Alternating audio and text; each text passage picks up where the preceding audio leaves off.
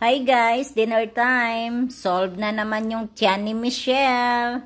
Sarap ng pagkain. Ito paksiw na isda. Talong na may ano giniling at yan guys.